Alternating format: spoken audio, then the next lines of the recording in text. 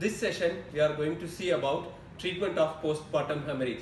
To give an overview of what are we going to in this, see in this session, we'll see about the definition of postpartum hemorrhage, what are the risk factors for postpartum hemorrhage, how to prevent postpartum hemorrhage, what are the causes of this disease and how to treat as per each cause. So this is what we are going to see in this session. So let's first go into the definition of postpartum hemorrhage.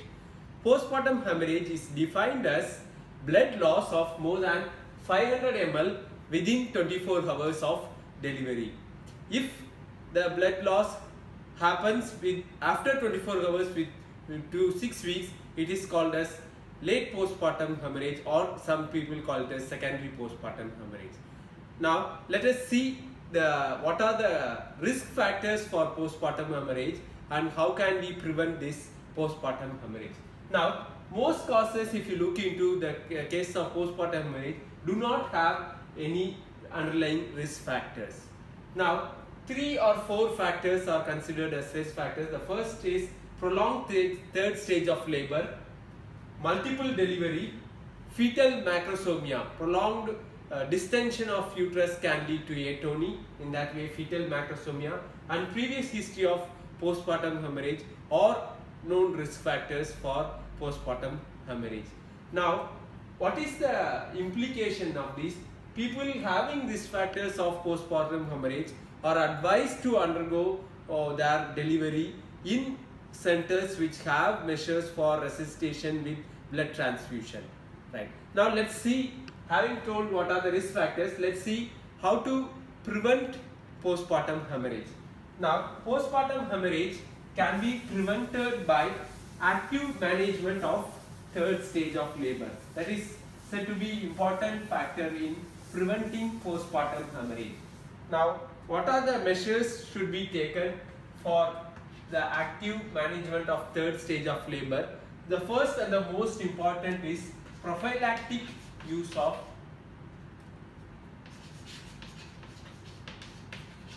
oxytocin. This is one of the important preventive measures for postpartum hemorrhage and this can lead to around reduction in more than 50% of the risk uh, people with risk with postpartum hemorrhage can have 50% reduction in their risk. Now how much oxytocin? Oxytocin is the drug of choice, choice as far as prophylactic uh, management of postpartum hemorrhage goes. Oxytocin is usually given as intravenous infusion, 5 international units to be given as IV infusion. One important practical point which each of us should remember is that oxytocin should never be given as a rapid IV bolus or undiluted solution rapidly should never be injected. If we inject, two things can happen. There will be rapid hypotension and the patient can also go in for arrhythmia. So these are the two important uh, dangerous effects which can happen with the intravenous use of uh, bolus rapid injection of oxytocin and for these two reasons it should be avoided. So first that's the most important measure as far as prophylaxis goes. The second measure as far as active management of third stage of labor goes is the cord clamping. So delayed cord clamping is advised. Now what is this delayed cord clamping? Early cord clamping is clamping the cord within one minute after the delivery. So this delayed is with around 1 to 3 minutes after delivery is called as delayed cord clamping and these two are advised as prophylactic measures for reduction of for prevention of postpartum hemorrhage. Two more measures which are uh, not recommended is what is called as controlled cord traction CCT controlled cord traction and uterine massage or the fundal massage is not advised routinely now these two measures are not advised routinely now but these two are advised for prevention of postpartum hemorrhage. So this is about prevention of postpartum hemorrhage. Right? Before we go on to the treatment of, so we have seen the prevention aspect. Now let us see what is the cause for postpartum hemorrhage and how to treat this postpartum hemorrhage. Now coming to the cause, it can be easily remembered by a simple mnemonic. The cause goes by four T's. The first T is tone. The second T is trauma. The third T is tissue. And the fourth T is thrombin. Now let's see one by one what are the cause for each T. Uterine atony. This is the most important and the most common cause as far as postpartum hemorrhage goes. It accounts for 70% of cases of postpartum hemorrhage. Trauma can include lacerations, hematoma, uterine rupture. This accounts for around 20%. Tissue retained products of conception, invasive placenta, this accounts for around 9 to 10% or less than that. And the last, thrombin, that is coagulopathies. This accounts for 1% or less than 1% of the cases of postpartum hemorrhage. So as we can see, the most important cause as far as postpartum hemorrhage goes is uterine atony which accounts for 70% of the cases of postpartum hemorrhage. Now let's go having said what is the cause for postpartum hemorrhage. Now let's go into what is the treatment of postpartum hemorrhage. Before we go on to the treatment, there is a dictum for treatment of postpartum hemorrhage. The dictum is that postpartum hemorrhage is not a disease. It is a sign. So every measure should be taken to find out what is the cause and treat accordingly. Treatment also goes by what according to the cause. So please remember the dictum that it is it is a sign and not a disease per se. Right. Now let's go into each cause and see what is the treatment. So the first cause uterine atony. Now the initial resuscitative measures is common for any type and let's see that first. Now the resuscitative measures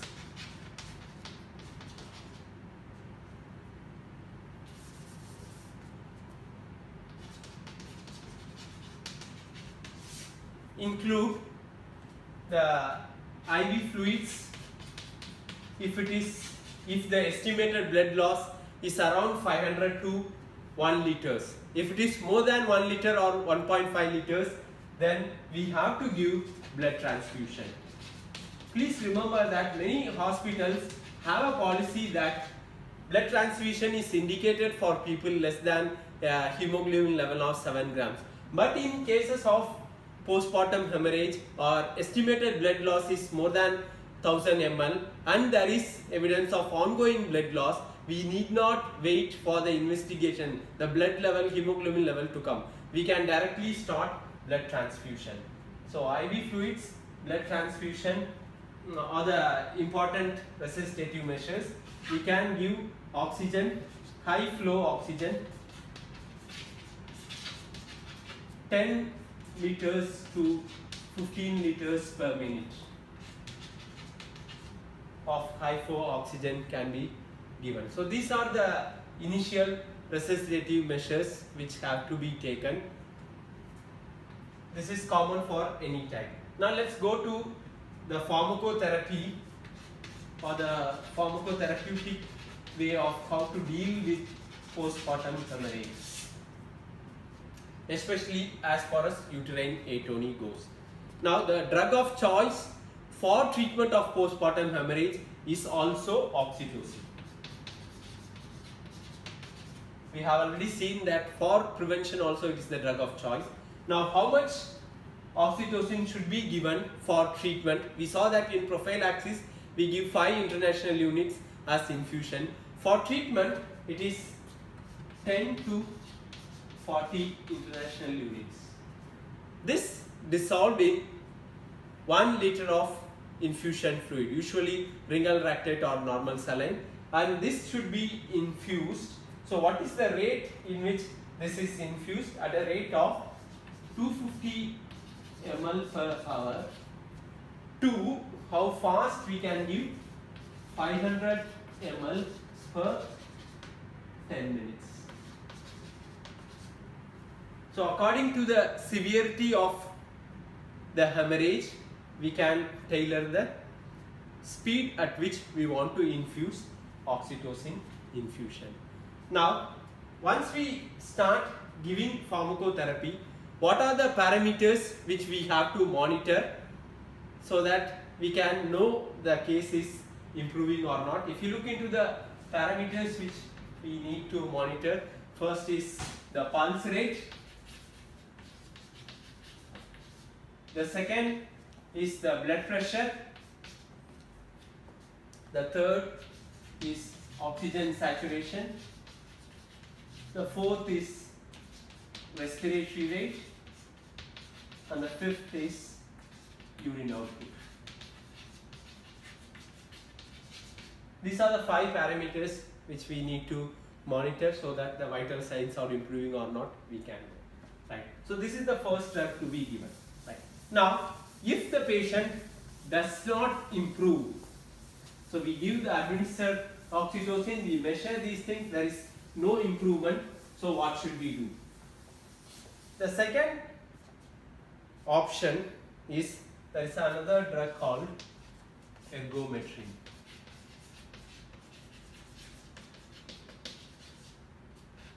So if oxytocin at the dose mentioned some time back is not giving any improvement, then we need to give ergometrine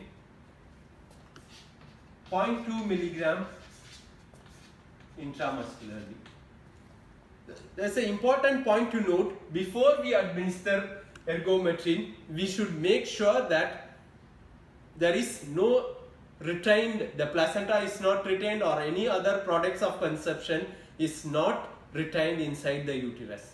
Now let's see why is this instruction or why is this precaution important? How does the action of ergometrine differ from the action of oxytocin? Now if you look into oxytocin, this contracts, if you look into the fundus, it contracts the fundus of the uterus. And if you look into the lower segment of the os, it dilates.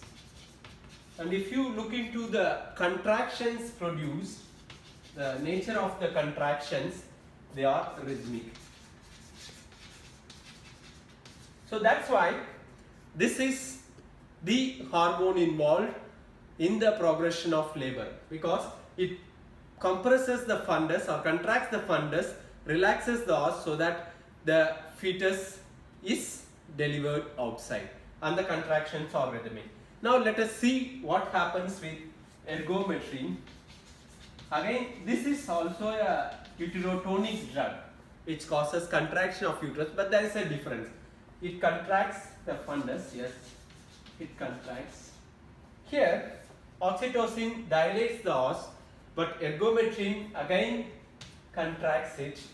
If you look into the type of contraction produced, here it is rhythmic, here it is tetanic.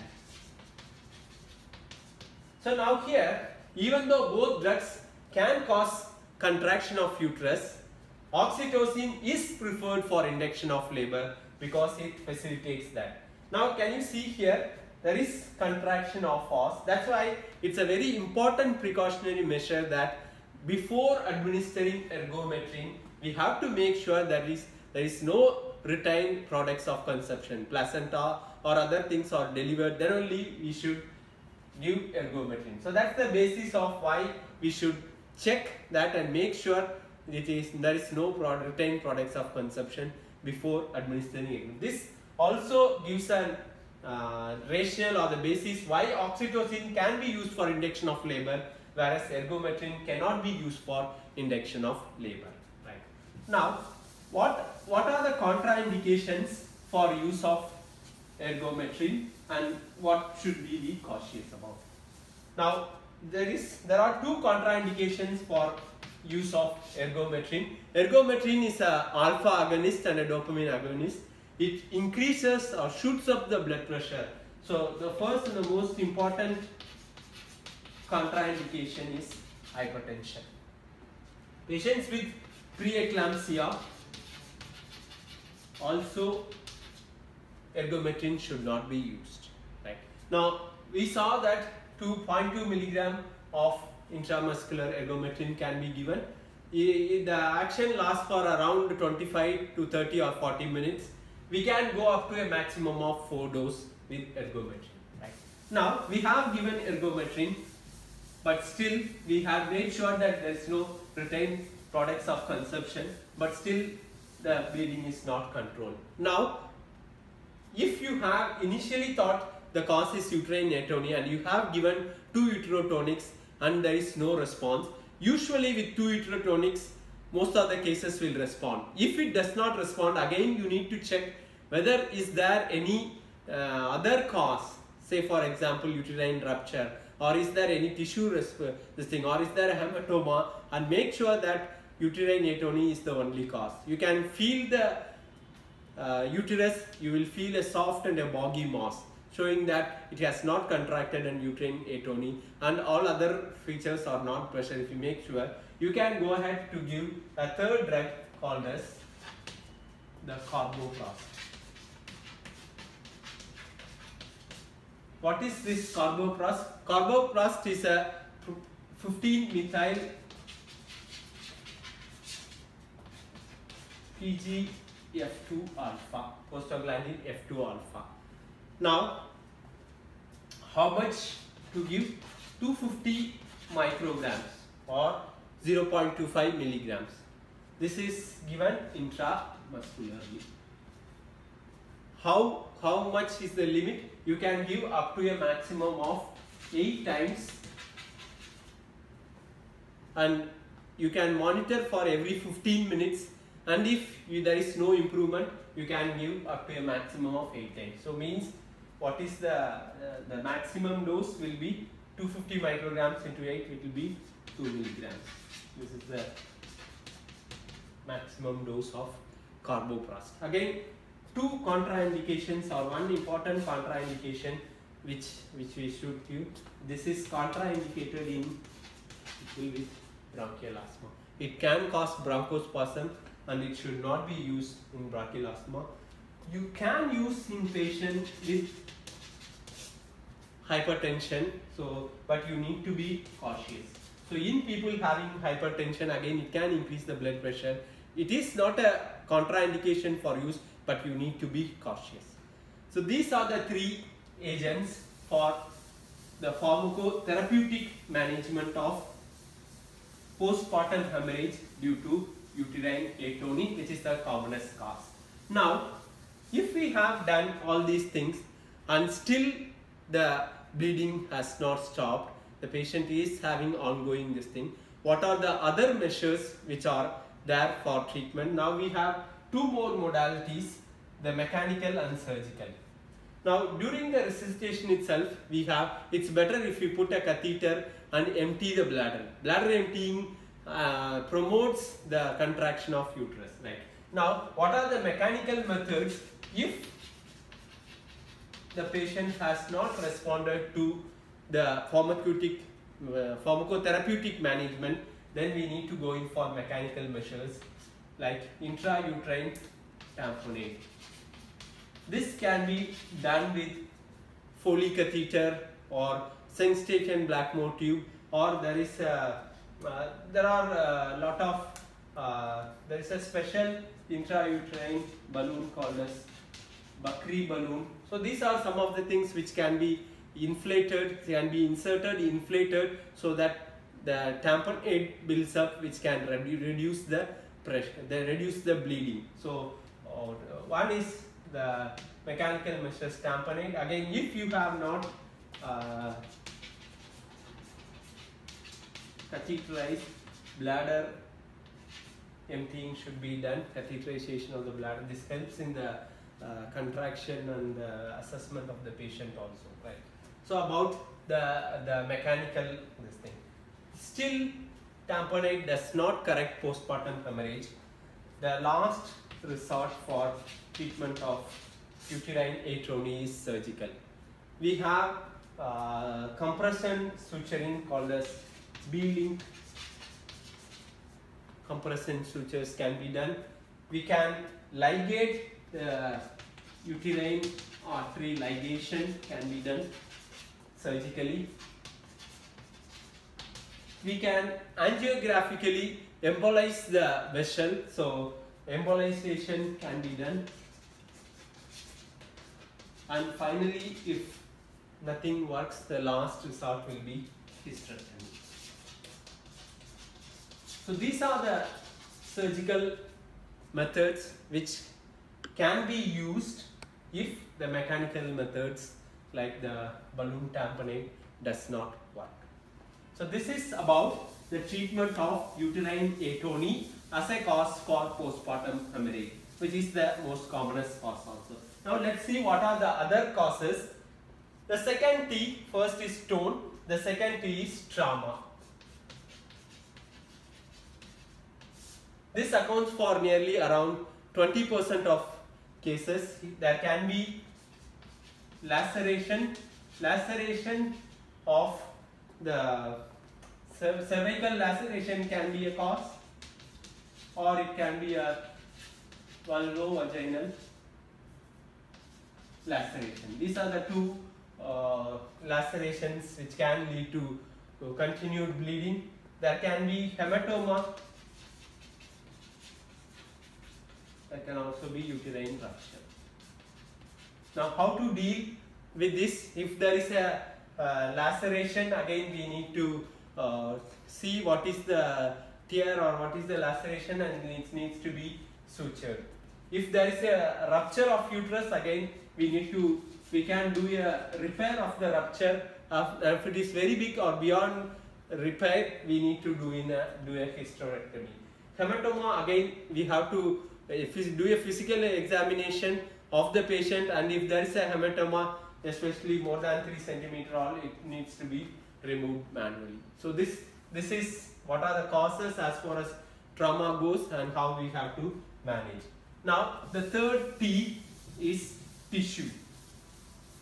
Tissue again products of retained products of conception or invasive placenta can happen. So how are we going to manage if tissue is the cause. Say for example, among the retained products of conception, retained placenta is the most commonest cause and let's see how can we manage this.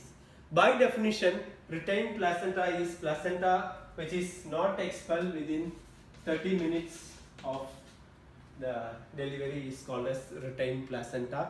Again, we can do a manual removal by injecting uh, 5 units oxytocin drip and we can uh, do a manual removal with our hand or we can do a blunt dissection with a forceps and then it can also be removed in that way. But if we are not able to remove then we have to consider sometimes we can give mild analgesics and then try removing also. Now if it cannot be removed then we need to consider the possibility of the cause being invasive placenta. Again this can be of three types depending upon the degree or the depth of invasion. It can be, there are three types. One is, the first one is placenta accreta. A for A. Why this is called accreta? Because here the placenta is, is, is adhered to the myometrium. That's why it's called as placenta accreta. The second type is placenta increta. So here it invades. So here this is a type which invades the myometrium. The third type is placenta creta. Here it penetrates the myometrium into the serosa. So these are the three types of invasive placenta according to the degree of invasion. Now how to treat this invasive placenta? Many people advise conservative management with methotrexate.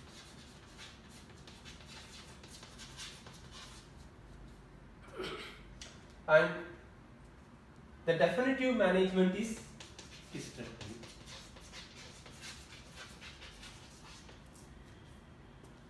One more practical point as far as whenever we are going to do a manual removal of the retained placenta, we have to administer a single dose of antibiotic also for the prophylaxis of infection. That also should be either intravenous uh, uh, ampicillin or first generation cephalosporin can be used for the prophylaxis. So that's about tissue as a. Now the last T is what is called as thrombin. This is the least common cause as far as postpartum hemorrhage goes.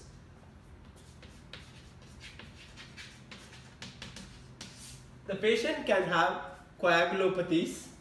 He can also have sometimes what is called as HELLP syndrome. Hemolysis, elevated liver enzymes and low platelets or it can be DIC.